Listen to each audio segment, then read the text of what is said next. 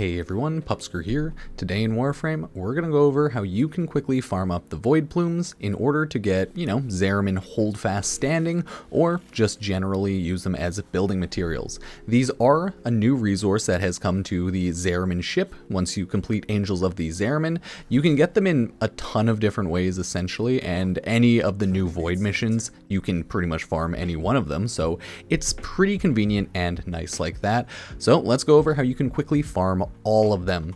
First and foremost, we have Quinn right here. Here you can accept bounties and you can also get bonus Void Plume quills by completing the objective right here.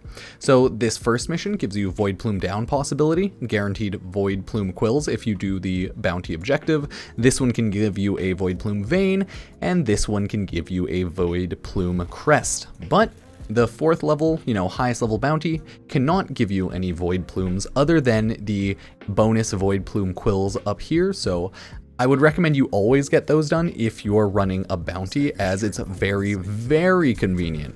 So loading into any one of these Zariman missions, no matter what, at least one Void Plume quest will, or crest will spawn, and at least two Void Plume vanes will spawn. Other than that, they mostly spawn as either Void Plume Downs, Void Plume Vanes, and I believe there's a ton of Downs, right, because they're the lowest one. A good chance that you'll get some Void Plume Quills, as those are given out if you take an item to the little Cephalon out in the Void mission.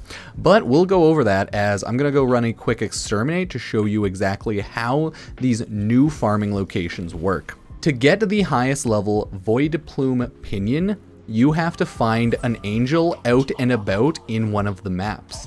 You can farm the Void Plume Quills, I believe, from killing the third or is it fourth round Angel, Ravenous Void Angel, in the Void Armageddon. So you can also run those missions as well. But essentially, the way you find Void Plumes in this new mission is just look around and use your audio cues because Void Plumes spawn now all over the mission tiles, right? So there could be like five in this general area. There won't be five because that'd be way too many, but it's a possibility. What you want to be looking for is either A, items on your loot radar as void plumes show up on your loot radar. So you can 100% use something like high Range Xaku in order to find all of the uh, void plumes. You can destroy everything and pick it up. That's a method. You can use what high ranged Ember if you want, high range Limbo, just to destroy all of the little boxes around and trying to collect collect up the void plumes. There are also little lanterns in the game that a ghost will spawn. This is a behind area. Ghosts will spawn and take you to the void plumes. So there's a lot of hidden mysteries in this general area, and that's why I want to show them to you, right? You can just hide behind there. There's some loot sometimes. It doesn't look like there's anything big here this time, but void plumes will be hidden in those hidden areas. So it's important to keep that in mind. There's a ton of little areas like that currently in Angels of the Zariman. So that's probably what I'm going to be doing for a long time.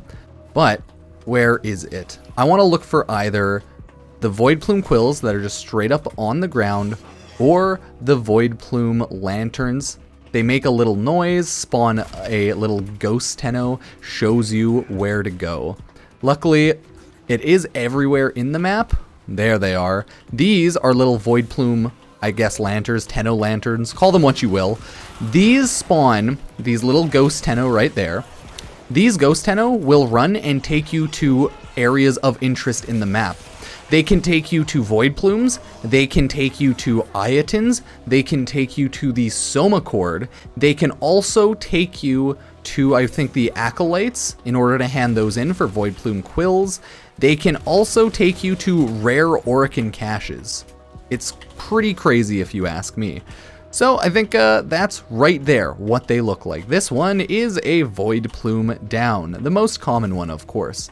And Void Plumes spawn literally all over, so if you just run around and look in your loot radar to find them, good chance you'll get them. So that's mainly how you get the Void Plumes. The highest level Void Plume is acquired by spawning an Angel of the Zariman, okay?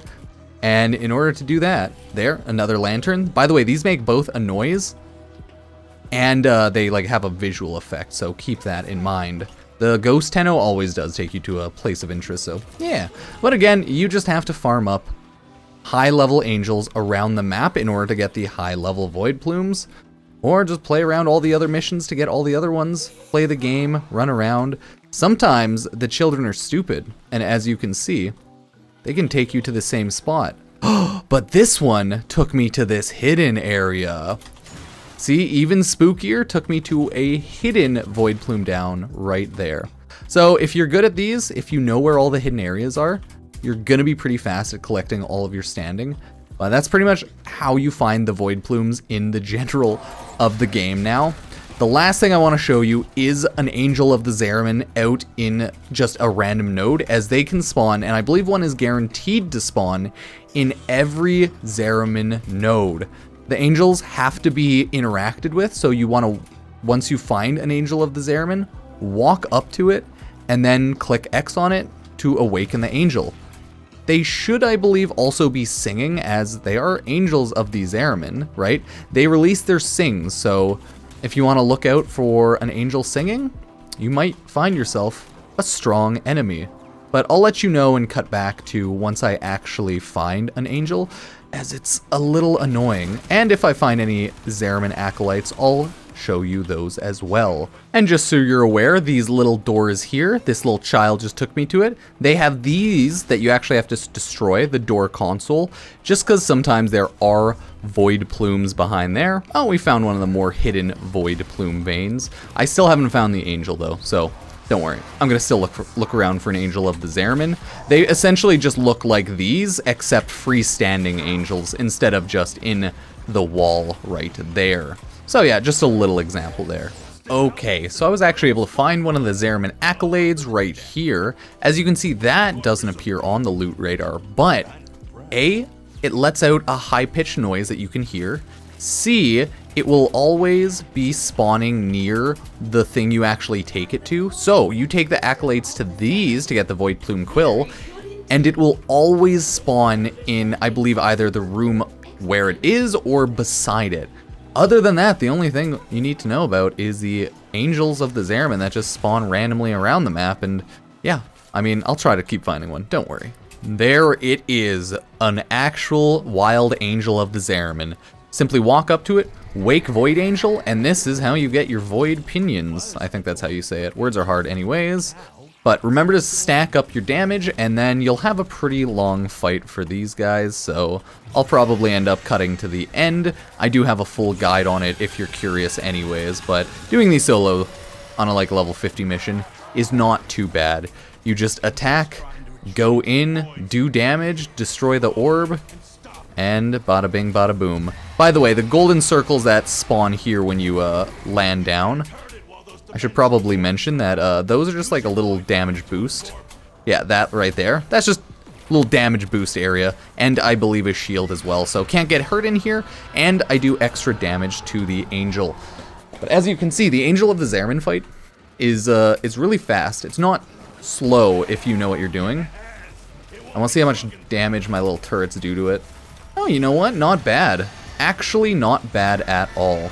It's just because this is a, like a level 50 Void Angel, okay? The higher level ones in like a uh, Steel Path or the Bounties, they're gonna be a little tankier, right? They do take extra headshot damage, if you weren't aware of that. But yeah, for these guys, you just gotta simply hit those. As I did in my last guide, rinse, repeat. Ah, you just keep doing it, right? Pretty easy. And then, once this happens here, you get your Void Pinion, you're good to go. Oh, I feel bad for the Void Angel, but bada bing, bada boom. Void Plume Pinion. And that is how you can get all of the Void Plumes in the game, okay? So, I hope that helped. Hoped it wasn't, uh, once wasn't a little too long-winded, but that is how you get literally all of the Void Plumes. Hope it helped. Hope you enjoyed. As always, if you did, like, say, favorite, subscribe, check me out on Twitch, Twitter, all the other socials. You can use the Epic Game Store creator code PUPSKER if you ever want to support the channel as well. So, thank you, and I will see you next time. Peace.